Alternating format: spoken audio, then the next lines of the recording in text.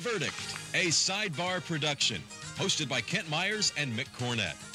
As a part of its traditional and continuing commitment to public and community service, Crowe and Dunlevy sponsors The Verdict. Also sponsored by Delta Dental, Oklahoma Lawyers for Children, and C.H. Guernsey and Company. Each week on The Verdict, we present an objective discussion of contemporary and legal issues, topical issues that will affect Oklahomans in their daily lives. The Verdict, a sidebar production.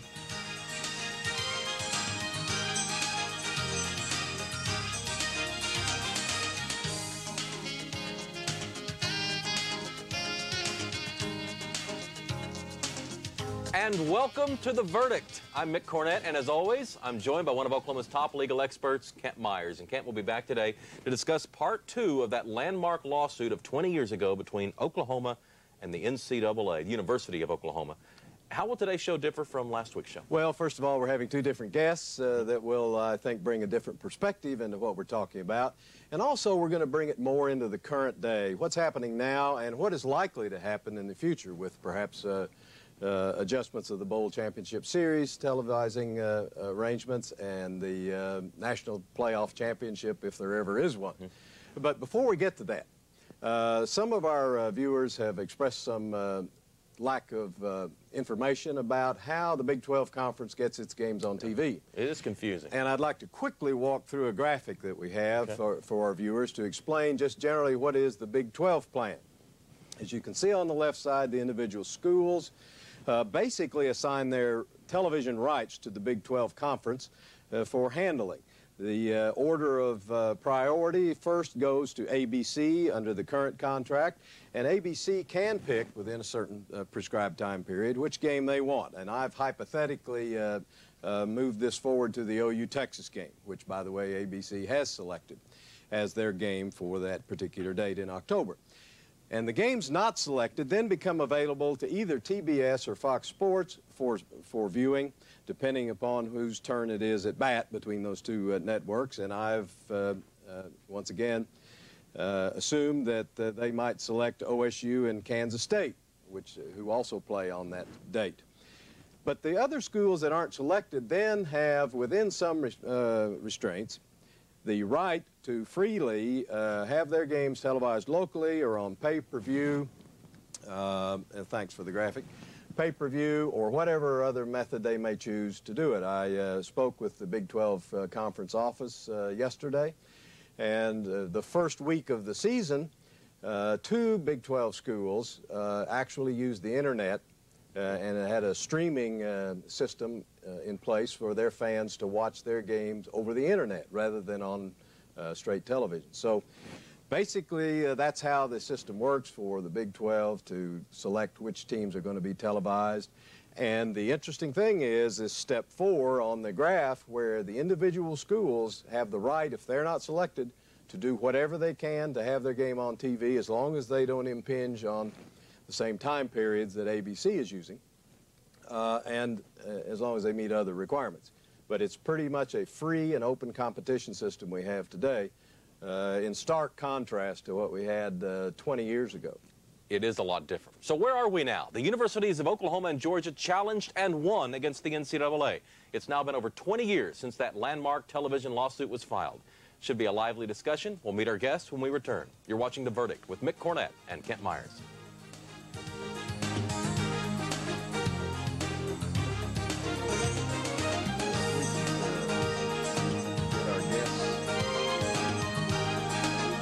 The Journal Record is pleased to be a sponsor of the verdict. The Journal Record, since 1903, the best source of Oklahoma business news and legal information. The verdict is pleased to have as a sponsor C.H. Guernsey and Company, providing architectural and engineering services to clients throughout the U.S. and around the world. I'd like to offer my most sincere congratulations to the firm of Crowe and Dunlevy, the employees and attorneys, uh, profound contributions to the state of Oklahoma for this past century, and I wish you well for this coming century. Thank you. Happy anniversary, Crowe Dunlevy, and thank you for 100 years of providing quality legal service to the state of Oklahoma. We wish you much continued success and growth.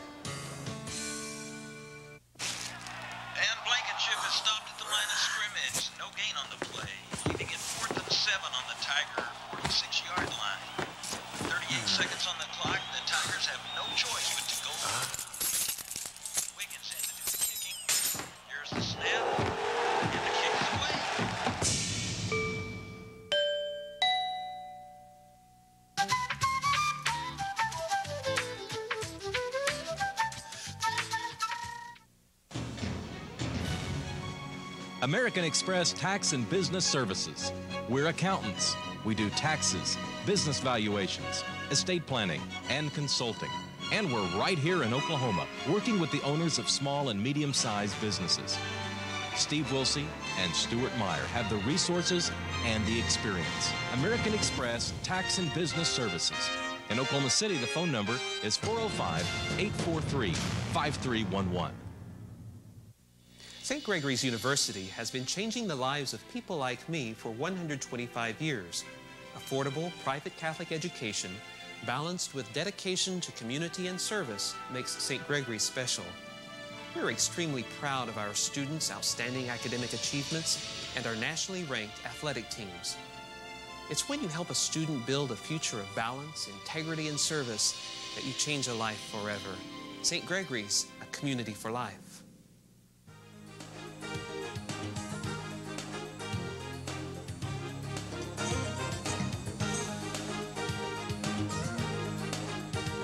Welcome back to The Verdict. Mick Cornett with Kent Myers who's going to introduce our guests.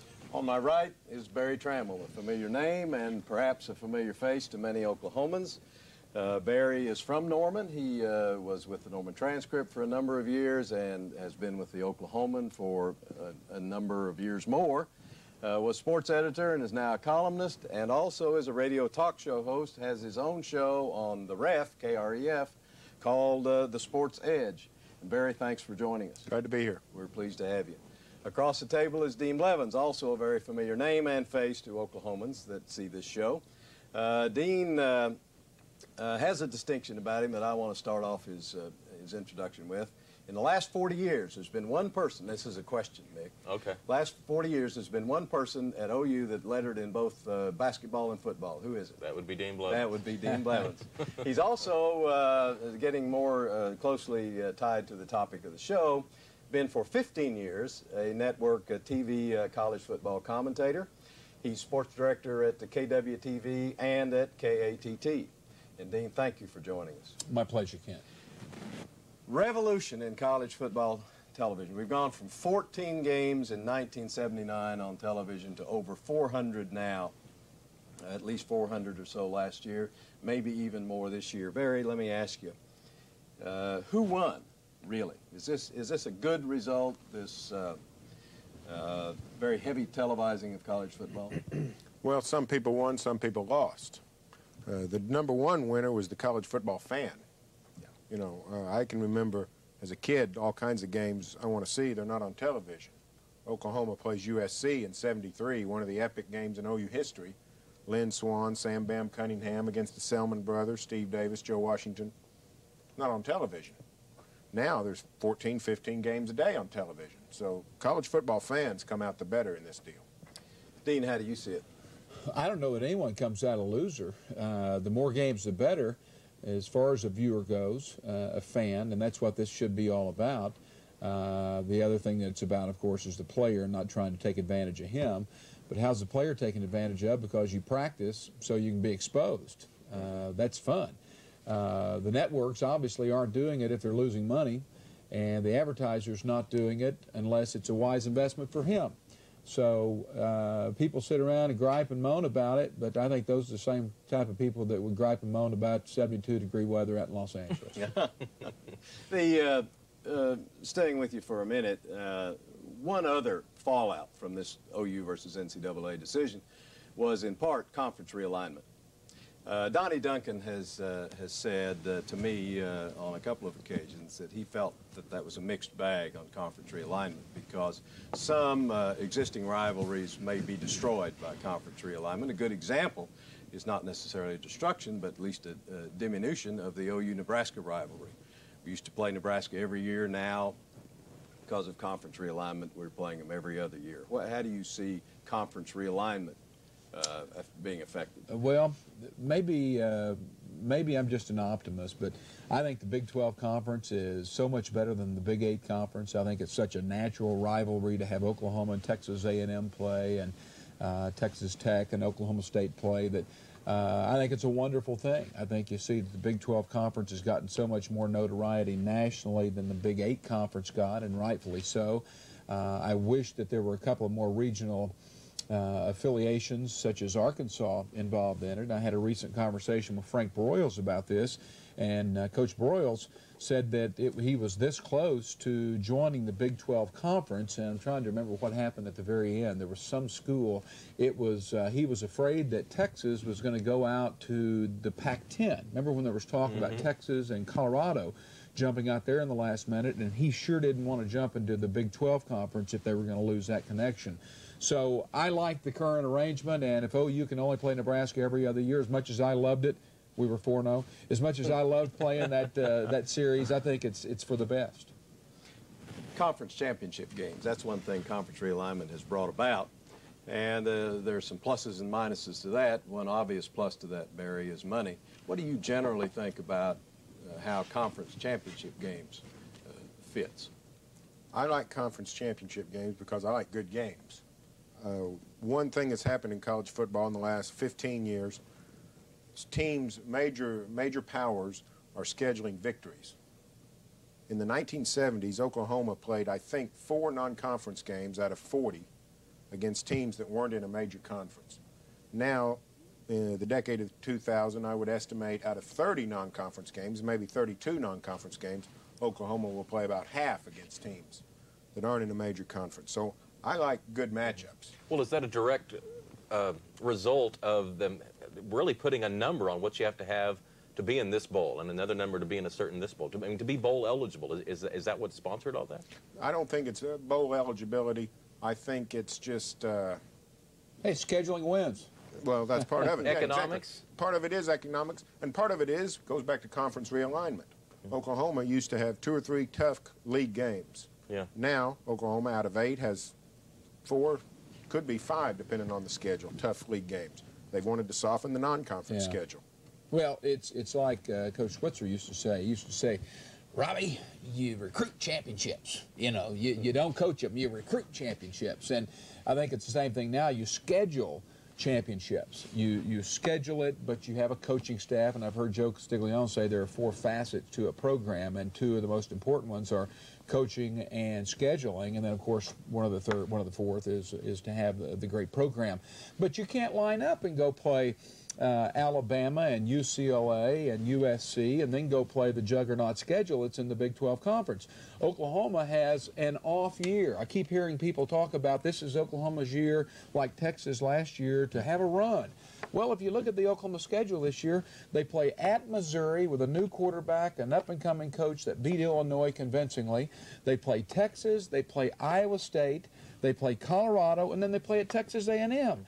Now, that's not an easy schedule. So if you jump in there at the beginning and you play Alabama and UCLA and USC, then you really have no chance to have scheduled yourself a chance to even have a chance to go play in the Big 12 Conference Championship game. Let me jump in here and get us to a break. One of the questions I want to get to when we get back is, was Oklahoma and Georgia's probations the result of that landmark NCAA case of 20 years ago? We'll be back on the verdict.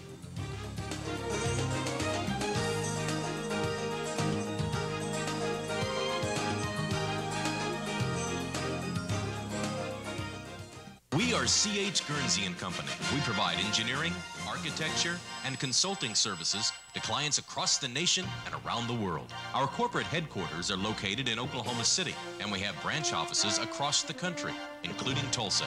We have provided quality service to clients for nearly 75 years. At Guernsey, we believe in quality work and unconditional client satisfaction. To learn more about C.H. Guernsey and Company, log on to our website at chguernsey.com bringing out the best in each student.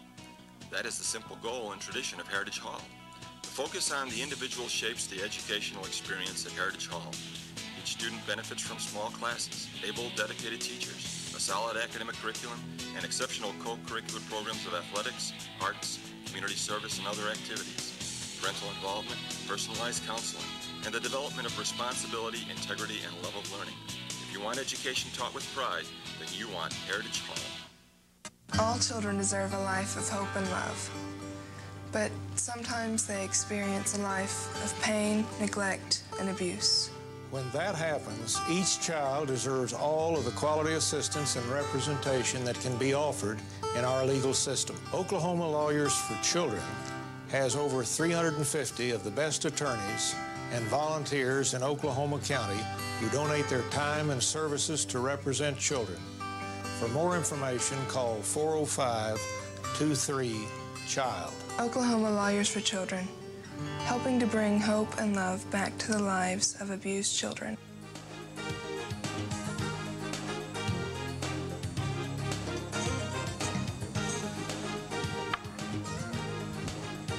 Mick Cornett and Kent Myers back on the verdict with Dean Blevins and Berry Tramel. Barry, let me throw that at you. Do you think Oklahoma and Georgia went on probation after this lawsuit because of the lawsuit? I don't think so, but I'm not much of a conspiracy theorist. I know a lot of people are. Um, the crimes OU committed, I don't know anything about Georgia, but the crimes OU committed, OU is admitted admitted to committing. So uh, I don't think so. Dean? No, the crimes that were committed, if you want to use the word crimes, and in the athletic world, it, they, they were crimes, uh, were committed for one reason, and that's to go win. And it didn't matter if that was Bud Wilkinson's bunch back in the 50s, or Gomer, who needed to cheat, or Blake and Schnelly, who really needed to cheat, or, or Barry in there. The only reason you do that is to go win, and it didn't matter. Uh, the television issue was not, not a factor. Let me ask you about Friday night football, Friday night college football. How about Tuesday night and Wednesday night and Thursday night and Yep. Saturday night? It's, it's on every night. The, the Friday night is distinguished because it's typically high Right, school night. exactly. And the high schools take a dim view of the uh, colleges and universities invading that. Uh, uh, some of the uh, minor conferences or mid-major conferences, as, as they like to be called, are going with ESPN on Friday night football. Uh, what do you think about that? And what do you think the future of that would be, Berry? I think it's a bad idea for major programs to play on Friday night, and I think they think so too. You're not seeing Michigan or Oklahoma or Texas playing on Friday night. They don't want. last- they don't want to. except against Tulsa. Well, but see, but that was a. I don't think Oklahoma and Tulsa would have played if the Oklahoma high school season That's had right. started. That's right. I mean, that's the only reason uh, OU agreed to do that, and Tulsa also. I don't think either program would want to do that. The only people you're seeing going to play on Friday night are programs that have been sort of shut out of the major network uh, slots.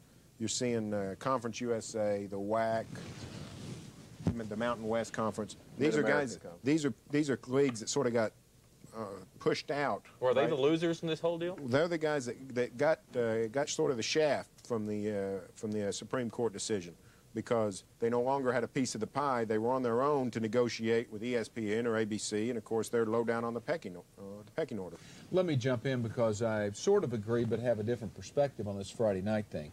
Uh, how many high schools, uh, how many games do we have on Friday? I mean, not me very many. I hated calling them for ESPN. I particularly hated calling Tuesday and Wednesday and Thursday night games. It was very bizarre, especially travel. But uh, that's a, a, an issue that's uh, that's uh, not not really an issue here. Um, but Friday night games they don't affect many people. They affect one or two or three, four games, probably less than that. The problem is what Berry started to allude to, in my opinion, and, and that is Oklahoma doesn't want to infringe on the Oklahoma coaches, the high school people. That's the lifeblood. They don't want to get the Texas coaches upset with them because they're hurting their crowd. They want the focus, the coaches do in those states, on their programs, their teams. And so that's who they're, they're most worried about. If you'll notice, the, where we where we're seeing high school uh, college football played on Friday night are not high school hotbeds. Yeah. Utah, Hawaii, places like that. Yeah. You know, you won't see this happening in Alabama. Florida, Alabama, Oklahoma, Texas. You won't see that. Well, what about the current uh, BCS structure? Uh, about uh, the way it's organized, the way teams are selected to be in the uh, Bowl Championship Series. What do you think about that? Oh, I like it. Uh, I think it can be tinkered with, but I like it. I think it's I think it's just the bowl system that we've always had, except we're ensuring the best possible uh, national championship game instead of uh, jerry rigging where teams are apart. You know, one undefeated team in the Rose Bowl, one un- undefeated team in the Orange Bowl. We're getting them together. I mean, I think it's a I think it's a uh, a worthy uh, system. Kent and Mick, I don't know that we're very good guests for you. I think that we think we follow it pretty closely, and I, I guess where we're both coming from is the system's not that bad. You know, they've been doing this for a long time, and the people that run it, they've got packed stadiums, they've got multi-million dollar contracts, they've got the renovation, they've got great quality play, and all that means is that they're running the thing pretty well. Is the BCS a good idea? Yeah. Uh, can it be tweaked? Yes. And are they doing it? Yes, they do it every year. And does there need to be a playoff? Yes, there does need to be a playoff, and that may be where you're going next. Well, but if- it's a pretty good uh, system as it is right now. It's better. But if we're headed to a playoff, why don't we just have a playoff? I mean, why does everyone say we're going to have to have a playoff in the future, but right now everyone says this is such a great system? We do have a playoff. We have a two-team playoff, and it's the best playoff in sport. We could go to four, we could go to eight, we could go to 16, we could go to 128. But right now we've got a two-team playoff, and I think it's a great. I think it's a great system. Well, it's prediction time, if, if you don't mind. If you do, well, that's all right. You don't have to. I'd like to get uh, your idea, Berry, and then I'll go to Dean. Uh, Berry, who's going to be the Big Eight champion? Big 12. Big 12 champion. Excuse me. Um, I like uh, Oklahoma because of its defense. I think the Sooners, uh, that defense is not going to have an off day. It's not going to slump. I like uh, Oklahoma. I am going to take uh, Miami to repeat as the national champion. They've got an incredibly tough non-conference schedule, but if they can survive uh, most of it, they could probably even lose one game and make uh, the title game, make the Fiesta Bowl. So I'm going to take Miami over Oklahoma in the Fiesta Bowl. Dean? Um, I think the Oklahoma-Texas game right now is a toss-up. I think we're going to know a lot in the next couple of weeks about Oklahoma's uh, running game. Can they run against teams other than Tulsa? If they can, they're going to be able to be balanced, and if you're not balanced, you can't win. So I think that the Oklahoma-Texas game is a toss-up, and the winner there wins the Big 12 Conference against Kansas State. I like Kansas State to upset all those other teams. And the team that I like is Tennessee.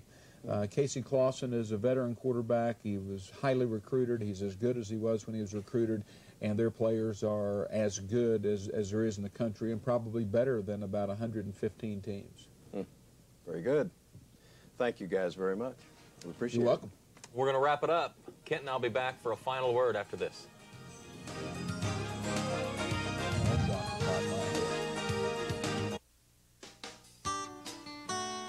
For Crowe and Dunlevy, I've both given and received. I've given my daughter, an associate, and I've also received Crowe and Dunlevy legal services. I think Carrie's a pretty capable person, and the legal services I've received have been first rate. But what most impresses me about Crowe and Dunlevy is its long-term commitment to the state and to the community. Service is everything to the law firm, a full-service firm of outstanding, integrity-filled people. Happy birthday, Crowe and Dunlevy. Have another 100 years of great success. I want to congratulate Crowe Dunlevy not just for reaching this wonderful milestone of its 100th anniversary, but for establishing during that 100 years the highest standards of integrity and, and professionalism and dedicated public service that's really set the mold and set the standard for law practitioners throughout the state of Oklahoma and throughout the nation.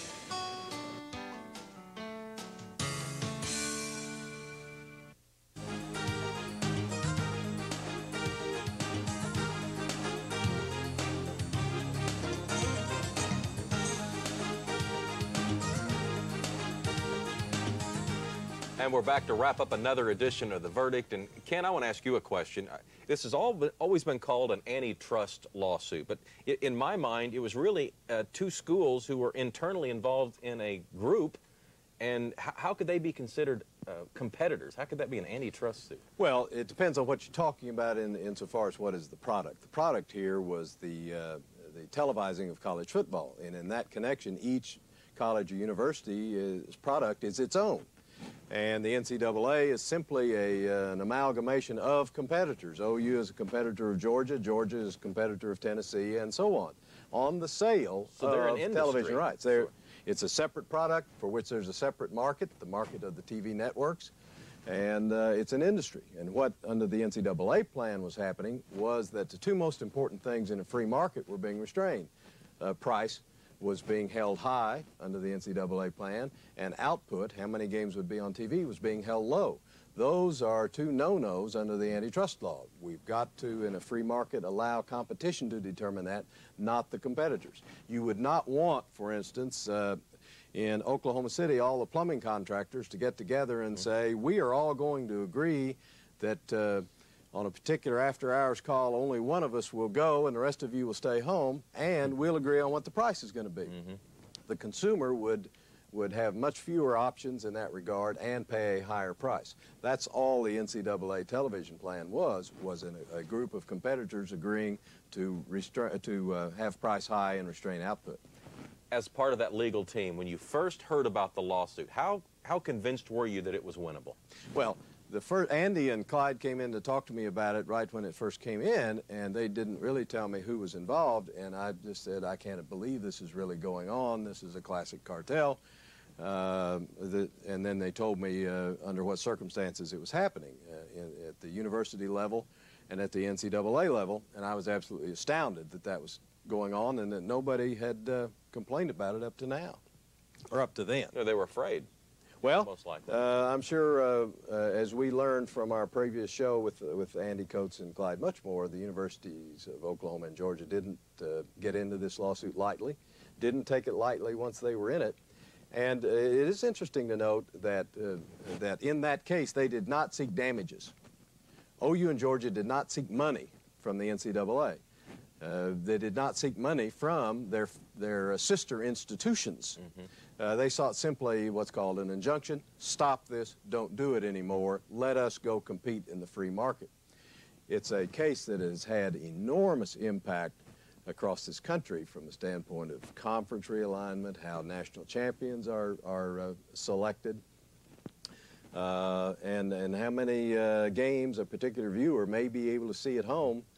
And it's, it's uh, interesting, uh, the amount of money per university has gone up uh, enormously, uh, even though the output is up. That's a little uh, counterintuitive to some economists.